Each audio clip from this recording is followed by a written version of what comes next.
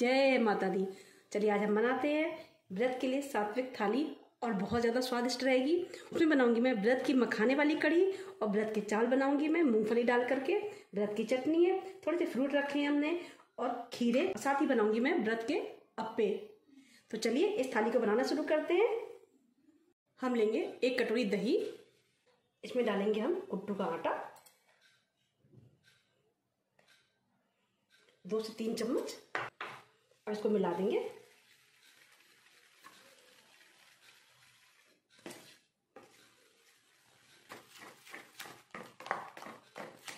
इसमें थोड़ा पानी डाल देंगे।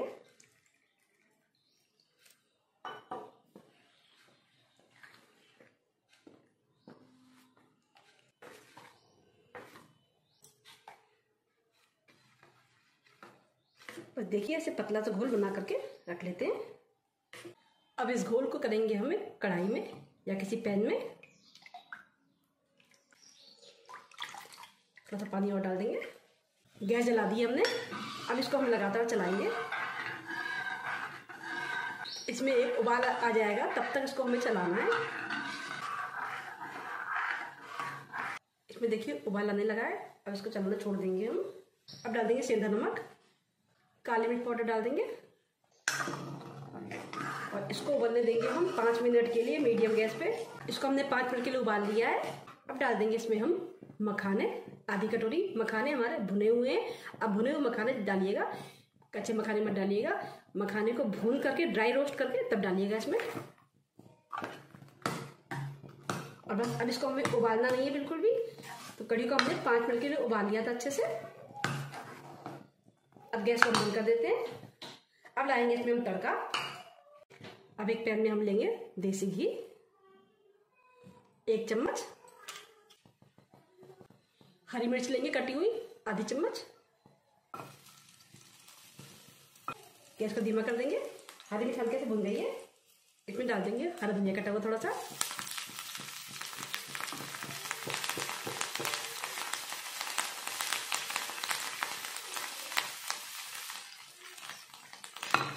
अब इसको हम कढ़ी में लगाते हैं।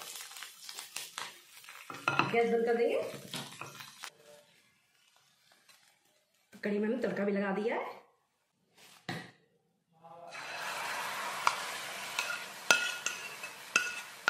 तो हमारी व्रत वाली मखाने की कढ़ी बन करके तैयार हो गई है। थोड़ा सा हरा और डाल देंगे कटा हुआ। एक चम्मच देसी घी लेंगे। घी गरम करेंगे। इसमें डाल देंगे हरी मिर्च कटी हुई। मूंगफली दाने लेंगे, उसको भून लेंगे।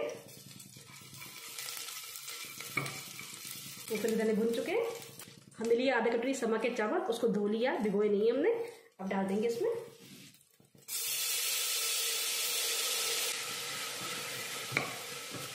बस थोड़ा सा भूनेंगे।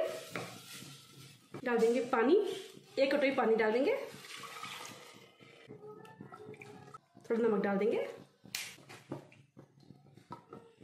थोड़े हरे धनिया के पत्ते डाल देंगे। ढक्कन लगा देंगे। और एक सीटी में इसे बनने देंगे। एक सीटी में चावल बना लिए हमने।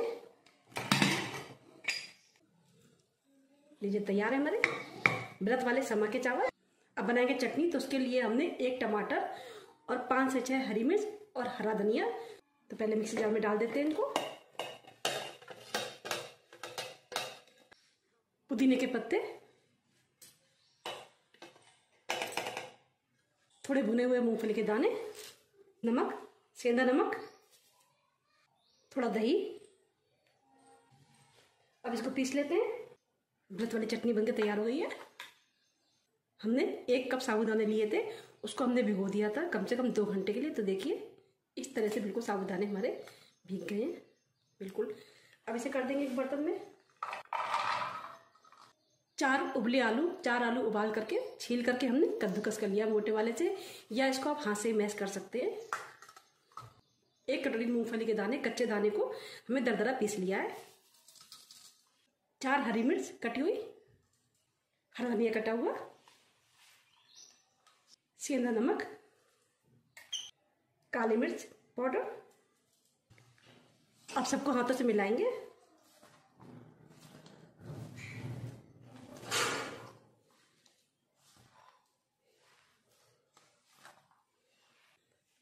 हाथ मिलाएँगे थोड़ा सा घी।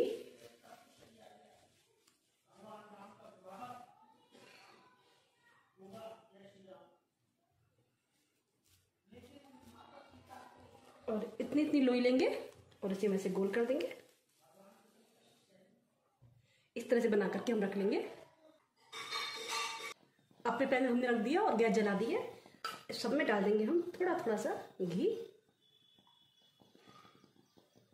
हमने अप्पे बनाए, अब इनको हम सबको इसमें रख देंगे।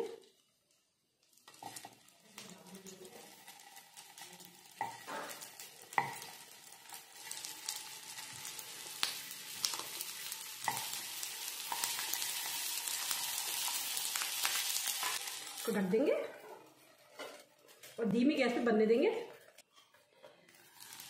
तो हमने एक मिनट लिए बना लिया है। ऊपर से हम थोड़ा सा घी और डाल देंगे इसमें।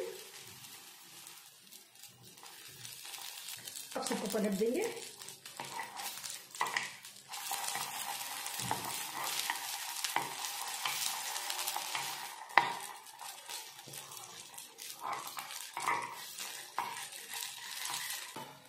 फिर से ढक देंगे इसको बनने देंगे दो मिनट के लिए।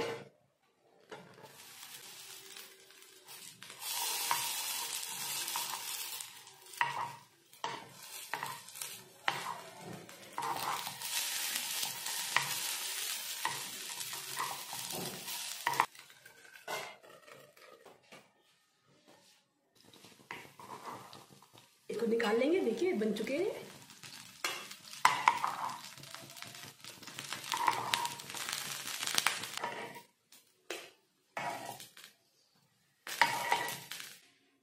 लीजिए व्रत के अप्पे बन के तैयार हो गए। चलिए, अब सर्व करते हैं। तो हम लेंगे पहले व्रत की मखाने वाली कढ़ी। थोड़ा सा डाल देंगे हरा धनिया। व्रत के चावल। चटनी व्रत की। अप्पे लेंगे?